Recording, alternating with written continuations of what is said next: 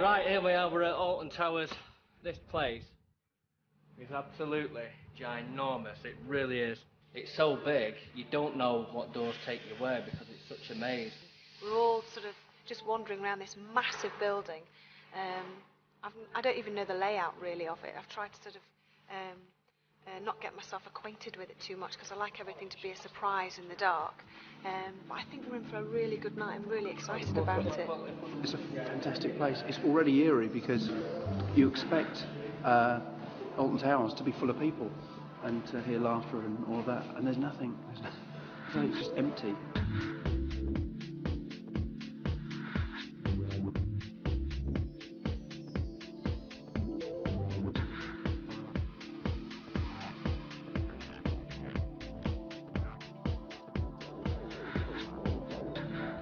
Stuart and we're going to be lighting for uh, Yvette's piece to camera.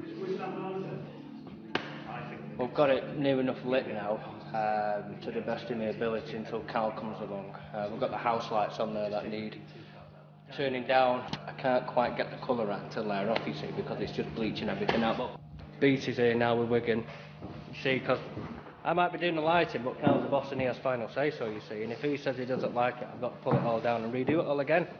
Anyway, Cal. Take it all down, do it again. That's probably some of the worst stuff I've See? ever seen. See what I mean? I don't mind. I don't mind, just do as I'm told. No, it's good.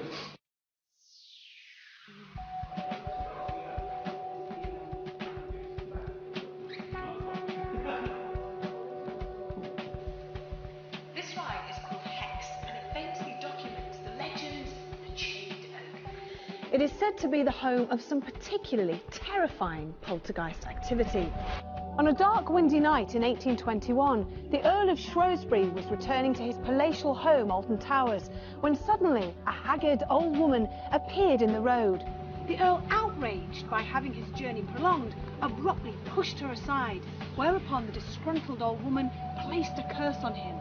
She said, For every branch on the old oak tree that falls to the ground, a member of your family shall die. And thank you very much, guys. Can everyone do me a favour and go and get a cup of tea?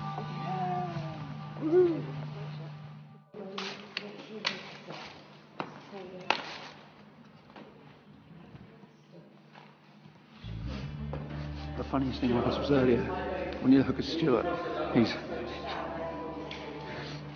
covered in, in dirt because he went down to the to the tree that was cursed, and um, he fell over and he wasn't happy. He really was not happy. We had to go to this tree that's all chained up and get shot. So there's me and Wigan, and another crew. We all went down there. So me and Wigan got the short straw. We had to go up this steep embankment. Don't get too many of those shots, mate. You might fall.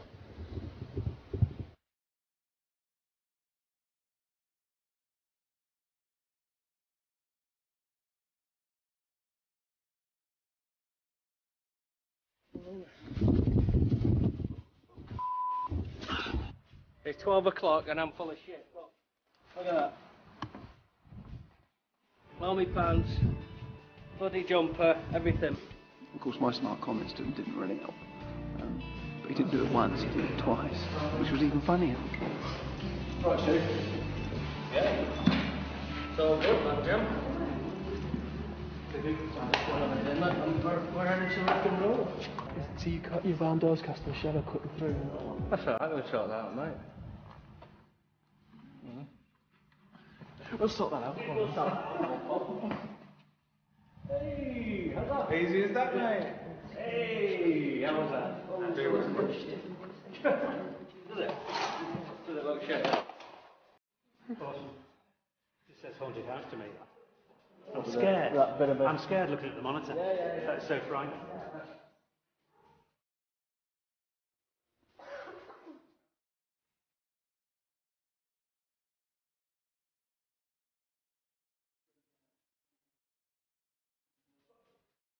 John? Yeah? You happy? Yes. Can we hear that Jenny? A lady in a long black dress has been seen many times wandering the corridors of the towers. Poltergeist activity has also been reported many times throughout the whole of the building. Visitors and staff alike complain about having small stones and objects thrown at them by mischievous entities. Some have witnessed the smell of strong perfume. This phantom is so vivid that one employee even approached her, believing that she was a guest, and asked her to leave, whereupon she slowly faded away. That was Poetry TV. Just keep that frame for a little bit. And done. Thank you.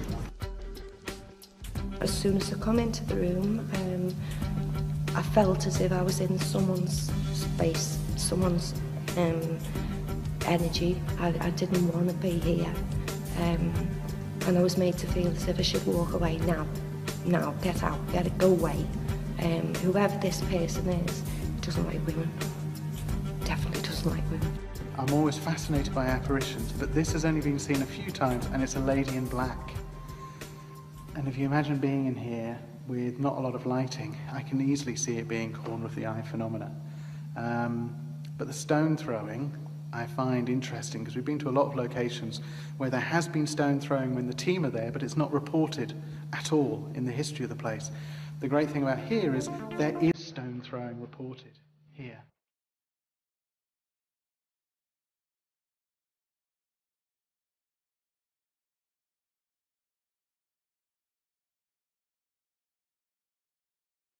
What I want to do is set up a lock-off camera and I'm going to set it up here, pointed in that direction, which is the only entrance into this wing. In addition, uh, what I always try and set up is an EMF meter. Okay.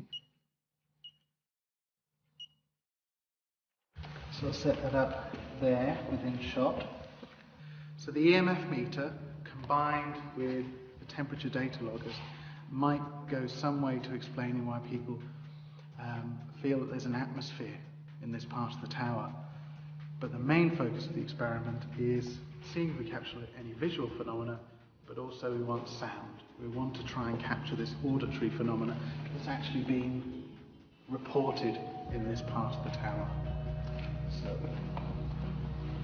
Alton Towers actually feels like an empty theatre.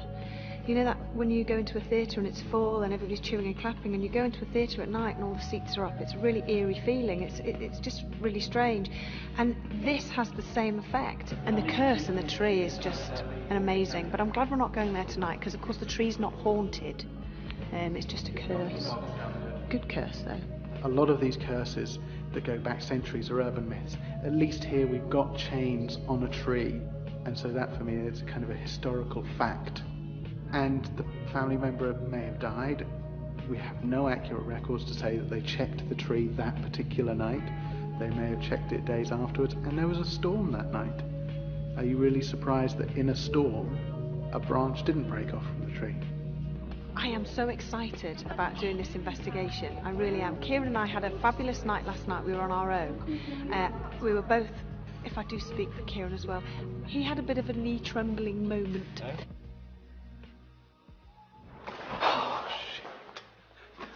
Loud.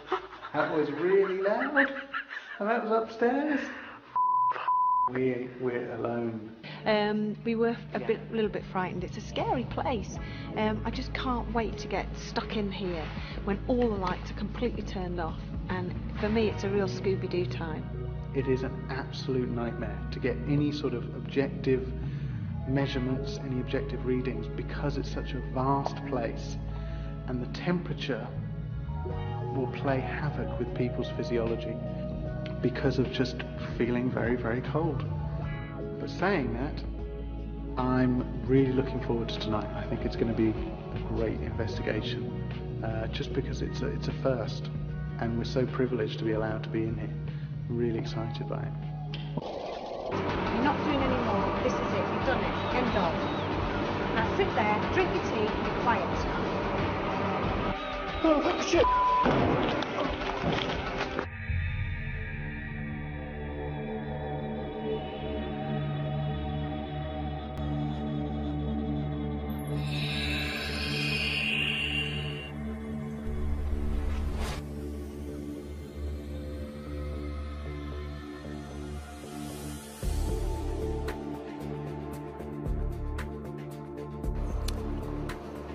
I like old towers. It's very odd when it's empty.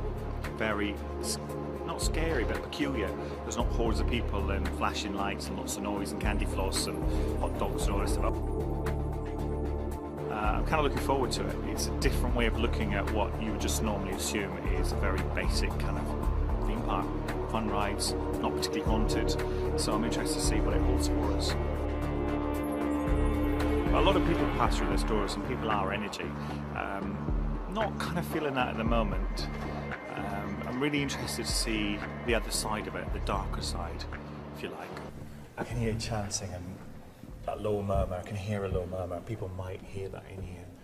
Um, I have the sensation of being watched. There's like a feeling of being watched. The rappings came from under my feet at one point, and that kind of freaked me out. And I know it freaked uh, Kath out because she even heard it circling around her. I was stood with John and I had these footsteps run round me. It was literally like they were circling me. Never ever ever felt that before. They were I could feel the vibration on the floor. It was really, really scary. Interesting here today at Alton Towers. Um, it's somewhere that I've been many times um, over the number of years and um, I've completely seen it in a different light completely. I've been in and out of there all day long and I've heard things, Ian's heard things, me and Ian together have heard things. We thought we heard someone talking and running around on one of the stairs. We don't know what it is, the place is so big, I mean you've got bloody creaks and bangs and groans and all kinds of stuff going on. Uh, but I think tonight especially it's going to be very interesting inside the house. I've never felt so anxious and scared. And I know I always do get scared, but this feels different. It really feels different. So I'm a bit, a bit worried about later. The joys of ghost hunting. Uh, we've just gone off and um, Yvette, Walesy, Kath and Carl uh, sat round the table basically asking at us is anybody there. Whoever is here, whether you're male or female, please help us. Please talk to us. Give us a sign. Can you make a noise? The strange thing is, we hardly got anything at all. We didn't get any. We hardly got any rappings. You know, it was. It just seemed really quiet and, to without using a pun, dead. Um, so that was that. But at the end of the day, you know, you can't have things happening all the time.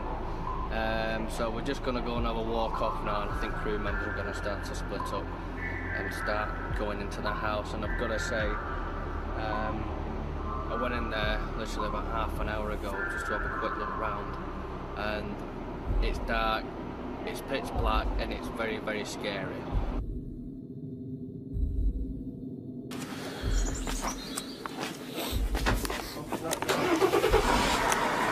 I'll walk back down, Kate. We've got to we just collapsed in there. Yeah, okay. I'm going to lay down. You sitting on lane, Carl, what are you doing? Okay.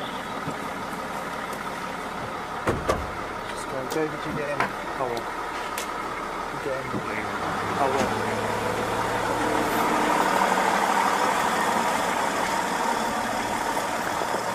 I just wonder. So Kieran and I are going to walk back.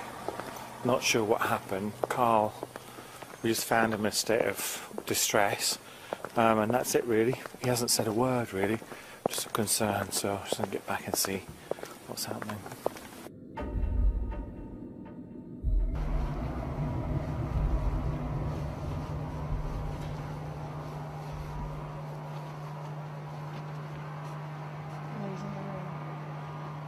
And then I think you hear. I think you hear Stuart call out. Oh no, are you right?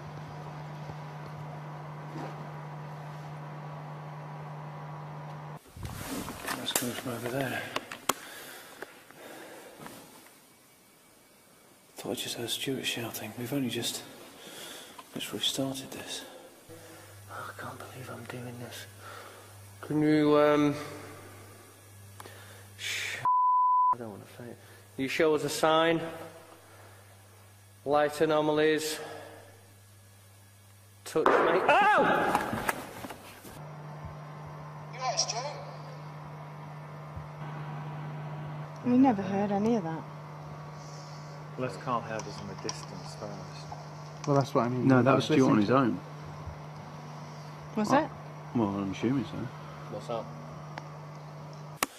Stuart's downstairs. Then I've come as far as I can be, but I'm sure I heard him scream. You right, Stu? Something's just been thrown at me. Hello? What was that now? S- Stu, stay calm. Stay calm, stay calm, mate, stay calm. How many times do you actually want to be with Stuart?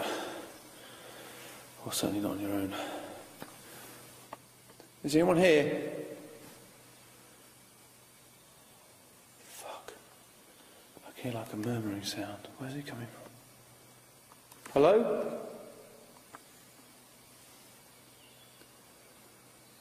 Oh, shit!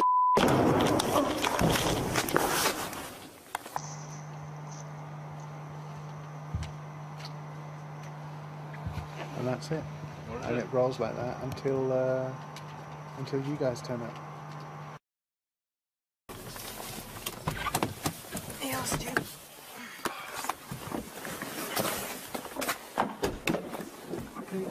Yeah. Try him again.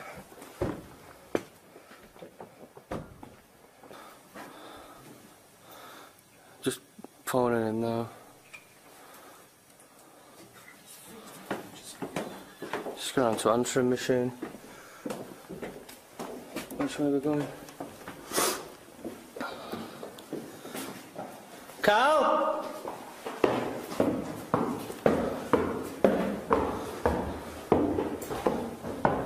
Right, Carl, it's Stuart, mate. Um, I've, gone back to the uh, the crew room to get the uh, to get Yvette and Walesy. Kieran's here as well um, because I can't find you anywhere. So I'm just leaving a message on your phone to see where you are.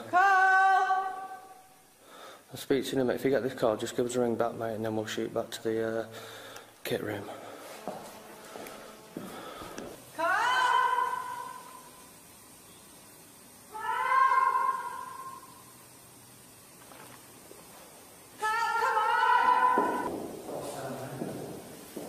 I don't know, I've not been down. What, what is it? The f- that? Yvette! Cal! Is it mate? Cal? Cal, come here. Cal! Wake up, mate. Wake. Whoa, what the f- is going on? Cal, what's going on, mate? What the f- is up to? Mate, get up.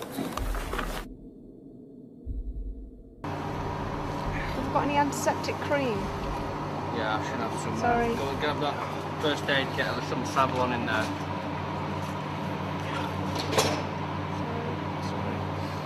It's just a bump that hurts. Yeah, pressing on the no. I'm sorry. Yeah. It's alright, the guys in the first floor ordered it a lot worse. That dry thing a There's bit. something at the door. There's something at the door. I, I remember. I, I, I heard Stuart shouting. I remember that he was screaming for some reason, and I, And then what happened?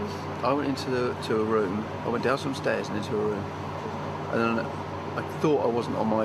I thought something was there with me. And then I looked at the door, and I thought I saw. No, I thought I saw something at the door, and I looked at the door, and that's the last thing I remember. What a lot of people are really impressed with and blown away with, which is Carl's injury. Um, that, that sort of thing has never happened at uh, this location before. It's a one-off. Um, so although the argument is always it could be paranormal, there's also a normal explanation for it, which is he got freaked out by something, turned round, hit his head. A perfectly plausible explanation. I remember being in the room, and I remember thinking I saw a black shape by the door, um, and I can't remember anything else. Uh, well, the next thing I remember is I can remember hearing Yvette and um, Stuart's voice shouting my name, and uh, and I came to, and that was that. And I've just looked at the footage, and basically it's got me in the room. I hit the floor, the camera hits the floor, and then that's it. It doesn't show anything, sadly.